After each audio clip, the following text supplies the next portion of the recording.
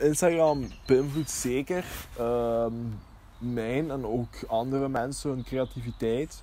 Omdat je vaak naar een bepaalde plek gaat met een beeld wat je bewust of onbewust al gezien hebt. En dat beeld blijft wel ergens plakken. En ja, ik denk dat dat onbewust is, dat je dat vaak ook gaat proberen te recreëren. Eh, terwijl dat misschien iemand anders zijn foto was. En ik denk ook dat mensen liever foto's maken waarvan ze weten van oké, dat gaat heel veel likes halen. Dan dat ze een foto maken waarin ze hun eigen visie kunnen ehm, pushen, zeg maar.